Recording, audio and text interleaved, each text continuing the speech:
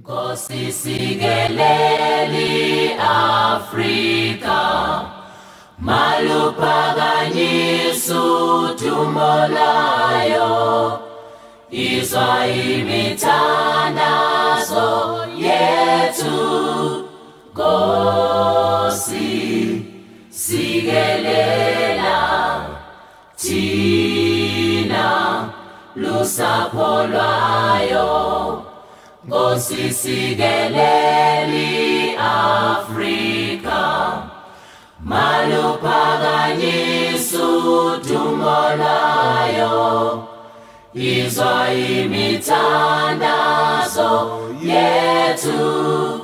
Nkosi sikelela thina lusapho lwayo.